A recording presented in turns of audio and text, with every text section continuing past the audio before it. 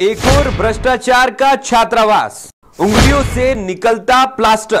टूटी हुई टाइल सरकारी तंत्र की बंद पड़ी आँखें। नमस्कार, मैं हूँ शरद व्यास। इंडिया फ़र्स्ट आज मध्य प्रदेश के पीडब्ल्यूडी विभाग के एक और भ्रष्टाचार का खुलासा करेगा। राजगढ़ ज़िले के खिलचीपुर में प्रभारी मंत्री आज घटिया और टूटे फूटे छात्रावास का लोकार्पण करने जा रही हैं। जी हाँ, करीब डेढ़ करोड़ रुपए खर्च करने के बाद इस छात्रावास की छत पर दरारें पड़ चुकी है। प्लास्टर भी पूरी तरह से निकल रहे हैं और शौचालय में टूटी फूटी टाइल्स लगा दी गई है।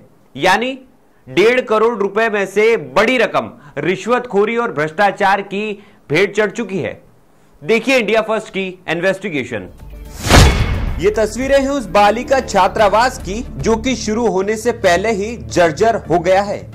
पीडब्ल्यूडी के भ्रष्टाचार का खुलासा करती महज ये चंद तस्वीरें हैं। अगर पूरी बिल्डिंग के निर्माण की जाँच करवा ली जाए तो कमीशन खोर और भ्रष्टाचार की पूरी कहानी सामने आ जाए।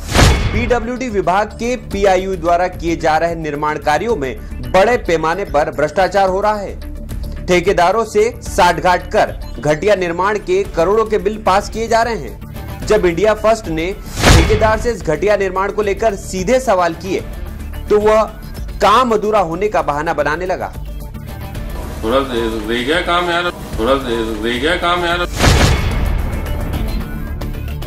अधूरा है क्या काम?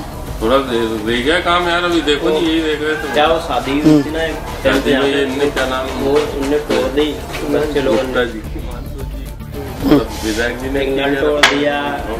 हमें ये सब कराना पड़ सब रहा है। ये वाला? हाँ देखो नहीं, अब नरे काम कराने पड़ रहे हैं, वो शादी में मैंने की थी यार गंदा कर जाएँगे मतलब